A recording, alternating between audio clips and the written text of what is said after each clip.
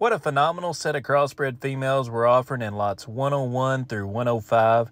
They are all 40 plus days exposed to low birth weight, registered Angus bulls. Big, stout, half to three quarter blood Brahman cross heifers like these are hard to find, and you talk about making some real cows that are heat tolerant, low maintenance, and long lasting. You can't go wrong with one or all of them. Each lot sells individually, and the auction ends Saturday at 6 p.m.